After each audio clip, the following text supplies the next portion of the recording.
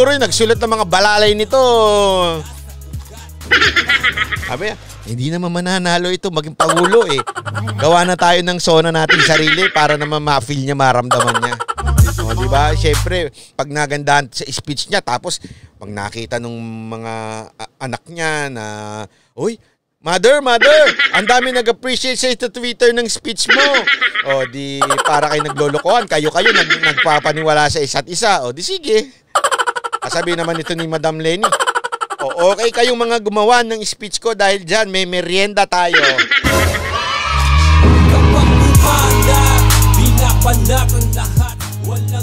O, di ba? o, pasok, pasok pa, Madam Lenny. Dapat magkaroon ng communications campaign para ang mga nagpapagamot mismo ang tumiyak na wastong impormasyon ang naitatala tungkol sa kanila. Mala Ate, communication. Saan ba kayong lupalop pinanganak? Ah, saan ba kayo pinang... nakatira? Sa social media, punong-puno ang communication. Eh, mas madami pang ang post yung RTBM at PCOO sa page ko kaysa sa post ko eh. Saka sa Mocha Uzunbag, sa dami ng mga post nila, sa DOH. Saan kaya nakatira itong aling to? Casey, salamat sa 1,220 yen! Ah, nakatira siya sa perfect world kahit kailan talaga hindi ka hindi ko maintindihan mga kuda niya.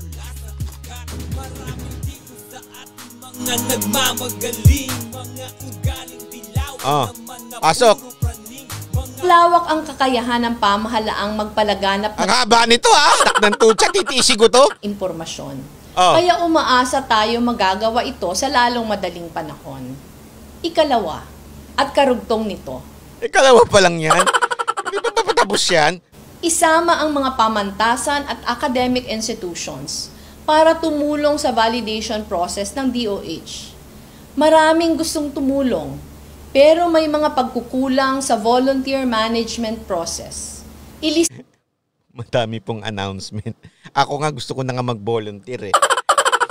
Di ba kita, ah sumalwa ka, ano? Sumalangit nawa ang kaluluwa ni ah, Idol Kim, si Kim Idol, ah, yung komedyante. Siya nga ho eh, nag-volunteer siya dun sa Bureau of Quarantine. Nagkaroon ng opening doon. Sa DOH may opening din. Ito na oh, pinapakita na, ano na naman sinasabi nito na kesyo wala daw, walang ano. Ayan na, may bolon. Ang dami ho, ang dami yung nakapaskil. Ewan ko ba't di nyo makita. sa ang mga handang tumulong at ang kanilang kakayahan at agad na silang iugnay sa mga unit na nangangailangan ng tulong upang ma-maximize ang kakayahang ito. Maraming paraan para ma-maximize sa mga gustong tumulong. Halimbawa na lang, pwede nilang pag-aralan ang surveillance at pool testing. Igugrupo ang mga tao at itetest ng minsanan ang grupong ito. Ang dali mag-suggest, ano? Ako rin, may suggestion din ako sa gobyerno.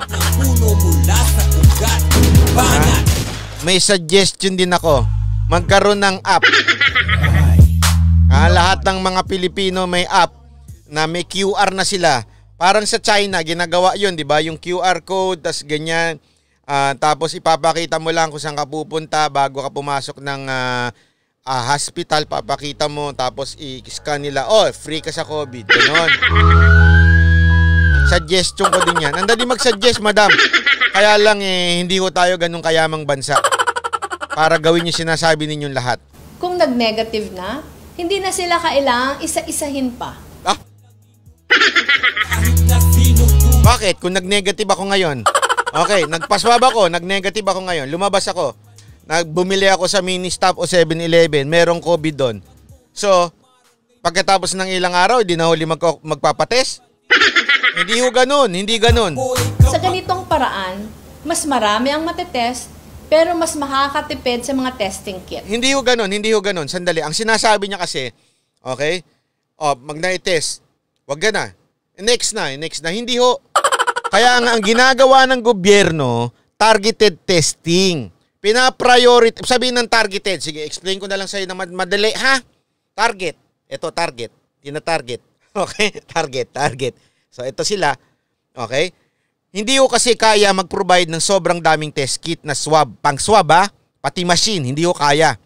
So naka-priority ho ito doon sa mga dapat at kailangan na mag-function ng mga tao, mga opisyal.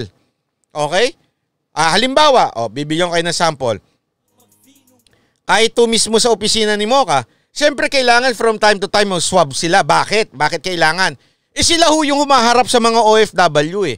Hindi ho porket na swab na si isang araw, bukas o kadalawang araw, pangatlong araw, hindi na uli sila sa swab. Iba naman, iba naman. Hindi ko ganoon. Bakit? Sino ba yung madalas pumunta at sumalubong sa tao? Yan ang dapat i-priority. Aside from sa mga taga-OWA. Halimbawa lang ho yun, medical personnel. Kailangan no, madalas ho yan, at least mag once a week silang swab. Bakit? Eh, mantakin mo sila magdudot-dot-dot sa doon sa mga may COVID o kaya sa mga tao. Sila magaganon-ganon ng ano. Siyempre, kailangan weekly o kung pwede nga every 3 days, iswab sila eh. Bakit? Hindi porket nag-negative siya ngayon, eh bukas hindi na siya mahahawa. Hindi ho gamot ang negat ay yung swab ha. yung testing hindi ho yung gamot. Kasi baka akala ninyo, oh, na-swab ka na, free ka na, malaya ka na. Hoy, pagka-swab sa'yo ngayon, pwede mahawa ka mamayang gabi pag uwi mo. Eh, hindi ka umuwi ng diretso, umuwi ka muna doon sa kabit mo. Eh, yung kabit mo, meron pala siyang jowang walang pera at kailangan mong kumabit. Eh, yung jowa mong lalaki na walang pera, ah, meron naman siyang kapit patik, patalim naman siya sa ano, sa bakla. Oh. Oh, eh, so pasa-pasahan na yun. Oh, eh, bago pa ka makauwi, meron ka na uli. kinakalaban lahat kapag mali. Yun na nga ang point ko dito eh. Madam, napaka-simple nito eh. Yung suggestion mo naman, parang awa naman. Nakaka, nakakabobo. Sorry pero totoo eh. No one is above the law. Ay, nako. Ikatlo, siguruhing mabilis ang turnover time ng mga COVID-19 tests alamin kung bakit nagkaka-backlog, kung saang mga laboratorio ito nagaganap, at tulungan sila makahabol. Yan daw yung pangatlo niya, siguraduhin mabilis. Madam, kapag iwanan ka na ba? Naayos na ni Pangulo yan, di ba? Naalala nyo, ang tagal nga nung nagdami nagreklamo, galit na galit nga kayo eh. OFW, maabot ng dalawang linggo. O biglang naisumbong ni Mocha, tapos biglang sinita na. Oh, ano ngayon? Ang bilis na. Ano sinasabi ng mga OFW? Two days, one day na lang. Oh, pinakamatagal na, three days. Matagal lang sinabi ni Pangulong Duterte yan, madam. Anong, asan, asan kayo? Asan kayo, madam? Asan kayo? Ang sakit kayo sa banks, ha? Hindi, ah, totoo. Sinungaling ba ako? Sinungaling siya. Hindi ba ginagawa na yan? Pinabilisan na nga. Nagalit na nga si Pangulo dyan eh. May nagalit na nga senador dyan eh. Galit na galit eh. Boka ba't mga binabanatan yung banat bay na yan? O, oh, ginanyan si Mocha, di ba?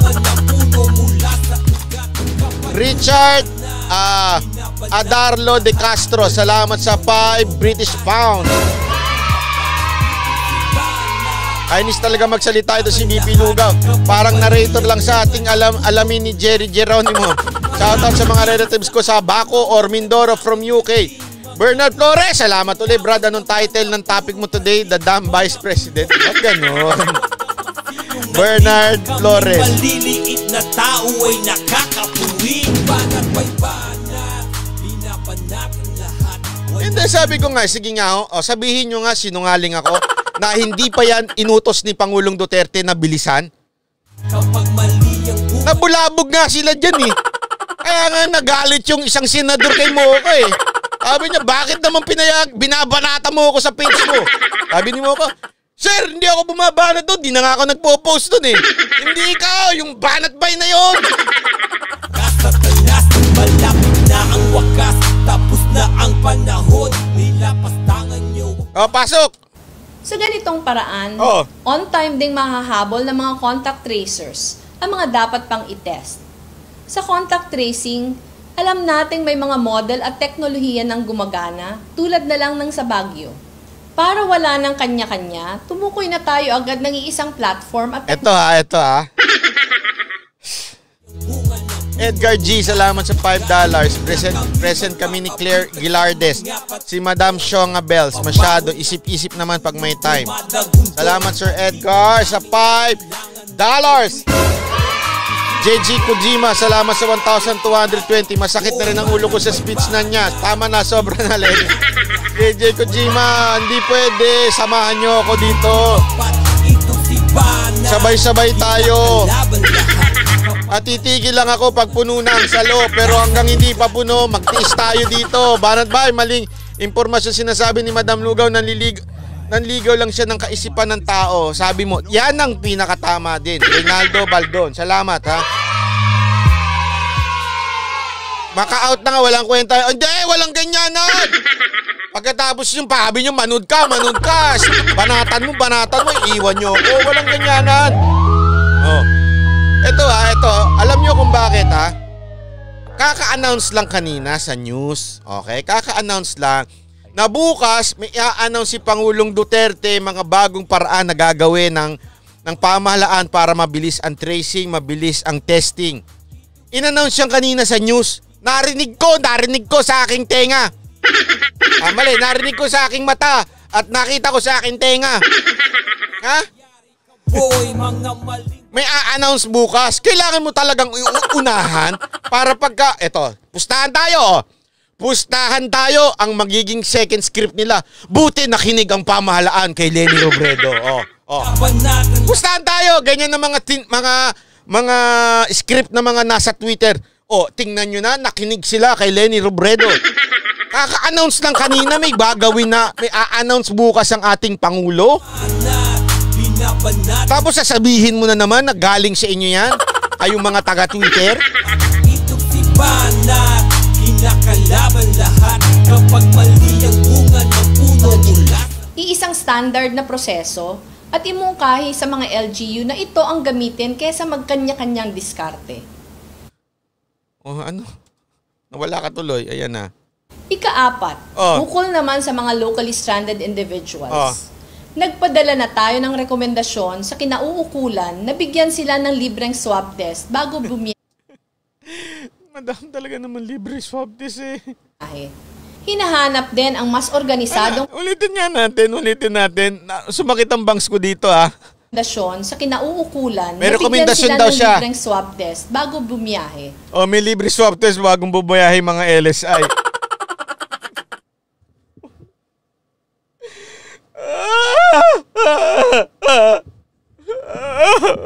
Madam Lenny. Kung sino man yan nagawa ng speech mo, baka si Sante na madam. Talaga naman libre ang swab test doon. Madam, ano ba? Ano ba? Ano ba? Libre talaga ang swab test doon sa LSI. Ano sinasabi mo? Ano sinasabi mo dyan?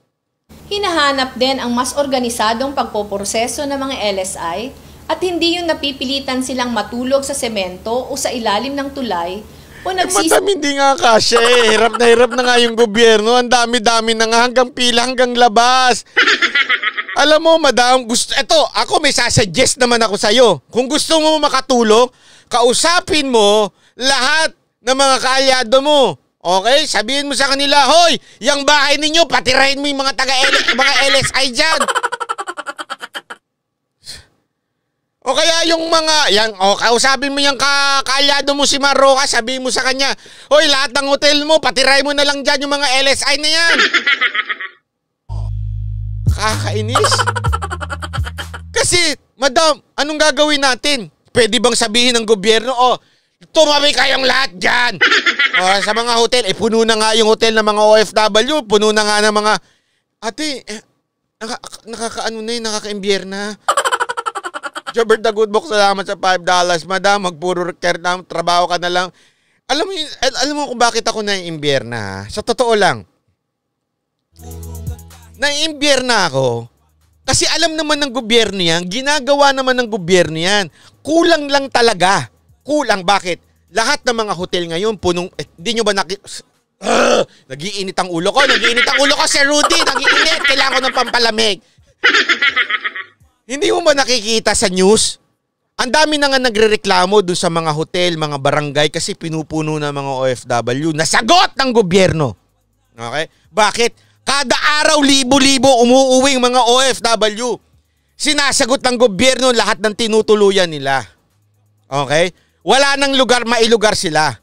Oh, Ngayon, ito mga LSI, nagpuntahan, gusto nang umuwi. Gusto nang umalis dito sa Metro Manila, gusto nang umuwi sa probinsya. Ayaw tanggapin ng ibang mga probinsya. Saan natin dadalhin? Yung kanina, nasa news ulit. Sabi ko, ano ba, hindi ba nanonood ng news to mga balalay nito? Pinauwi na yung mga iba. Aba, nung pinauwi, nagdatingan yung mga bago. eh, kailangan i-disinfect pa yung Rizal Stadium. Pero nagdatingan na yung mga bago, ano na naman gagawin? So dinala na naman nila sa ibang kampo.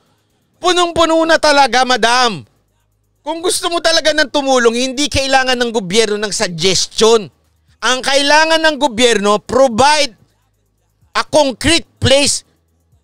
Saan ba? Hindi yung ang kailangan ng gobyerno ay merong sapat na lugar kung saan mapapatulog ang mga LSI na meron silang kama, telebisyon, wifi, Ah, meron silang sapat na tubig, palikuran. Politikong politiko yan, trapong-trapo yung datingan na ganyan. Madam, hindi kailangan ng, ng gobyerno na suggestion mo. Alam niya yan.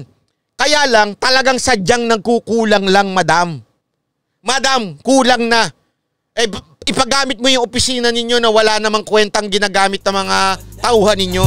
Walang inuurungan kahit Mabibili pa ako kung kausapin mo lahat ng mga kaibigan mo, lahat ng mga mayayamang mong pander, lahat ng nagbigay sa iyo nung campaign, mag-provide kayo ng gym, mag-provide kayo ng hotel, mag-provide kayo ng ano, yung mga bahay ninyo.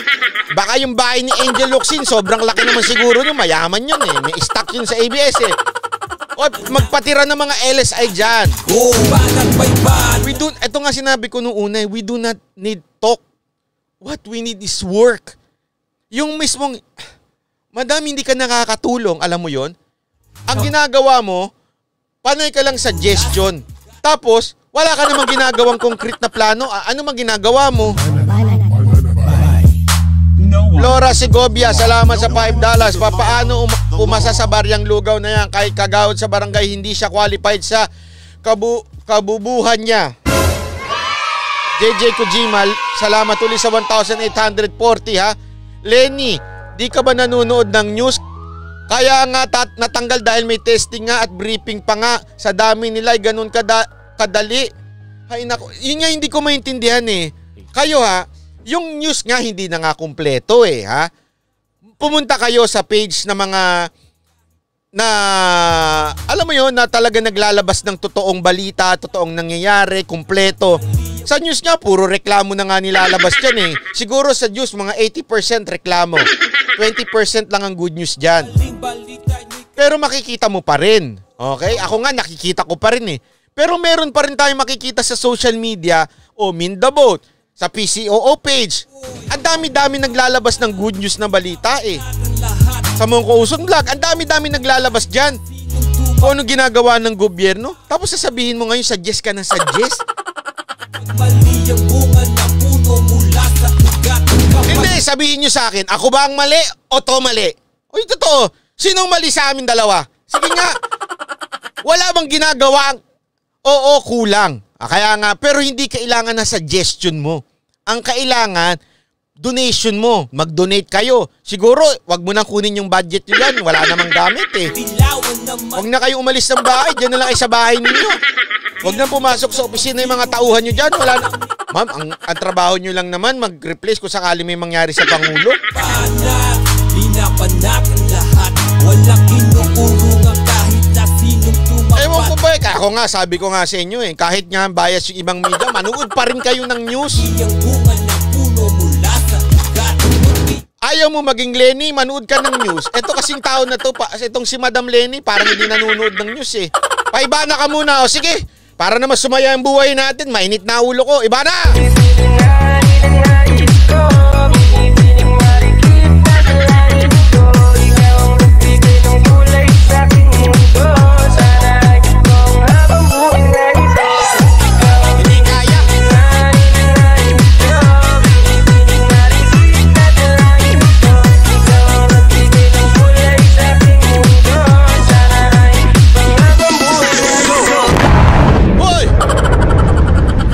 Sir Rudy, mukhang hindi kaya.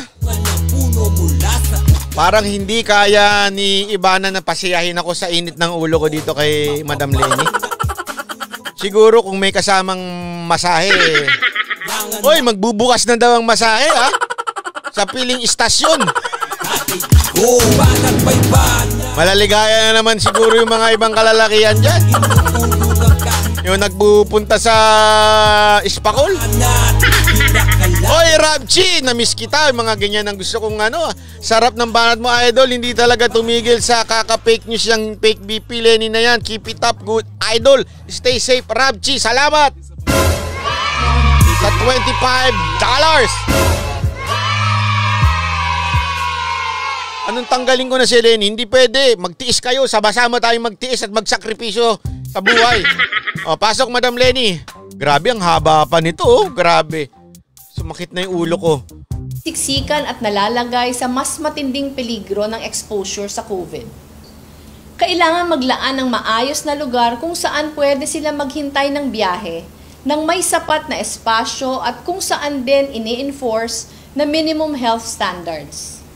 Dagdag pa dito, kailangan ding tutukan at bigyang lakas ang mga LGU para pag-uwi ng mga LSI, magkakaroon sila ng maayos na pagkakakitaan. Pwede itong gawin through cash for work programs na partikular para sa mga LSI. Ikalima, sang Ginagawa naman yun eh. Ano ba? May binibigay, di ba? Hindi mo ba alam? ba? Ate, ano ba? Ano ba? Ah, inis na ako! Inis na ako! Inis na ako! Ginagawa naman yun eh! Kaya dyan doon sa balik probinsya, may binibigay din. Inis na ako, inis na ako. Yung suggestion niya, ginagawa na. Kung gusto mo dagdagan, itanggalin niyo yung budget niyo dyan sa opisina ninyo. Ano ba, ano ba, ano ba? Nakakabobo naman to. Tayo sa pagkakaroon ng isang whole of nation approach. Maisagawa sana ito higit pa sa pagkakaroon ng mga bagong posisyon, bansag o titulo ng mga tauhan. Ang totoong whole of nation approach, maayos ang pangangasiwa at kumukumpas sa iisang direksyon. Aling direksyon at sino ang kukumpas? Dapat public health professional na tunay na nakakaintindi ng problema. Dapat daw ang kukumpas public health official. Diba ilang beses na? Pinaulit-ulit. Ewan ko kung narinig nyo. Nainis nga ako eh. Nainis pa ako nito ha. Paulit-ulit na sinabi ni Pangulong Duterte. Oh, ang nangunguna dito sa laban natin si COVID, eh ikaw Duque. Ilang beses sinabi ni Pangulong Duterte yon, ilang beses diyan sinabi yon. Hindi ko alam ba't di mo narinig. Ano ba? Ate! Ilang beses sinabi ni Pangulong Duterte yon. 'Di ba? Ako nga inis na ako eh. Bakit? Mr. President, ayoko si Duque. Oo, kahit na nilagay siya yung mga czar-czar dyan, ha? Sila, ano, kung sino man yung mga sundalo dyan. Pero lagi niyang inuulit, ang mag dito, DOH pa din, ha? Ano sinasabi mo ngayon, madam? Inuulit mo lang eh. Ano ka ba? Bakit mo inuulit? Bakit? Bakit? Ano ba? Dalawa lang yan, madam. Bobo yung nagbigay sa'yo ng script at hindi nakikinig sa speech ni Presidente o credit grabber ka lang para pag ginawa, sasabihin mo galing sa'yo. Ana to, pag masyadong init ulam, mahal kong banat ba, chillax lang po. Itong big hugs and kisses take care always kahit ako sumakit brain cells ko kay Madam Lugaw. Madam, di na kaya to ng hugs at saka kisses. Kailangan na ito ng konting masahe. Ang landi mo! Kailangan ko ng masahe ngayon bago matulog. Ay, nako. Hindi kaya to ng hagit tsaka kiss.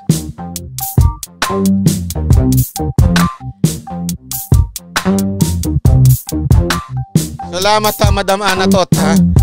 Janet Jaina, salamat sa $10. Ay, 10 British pound.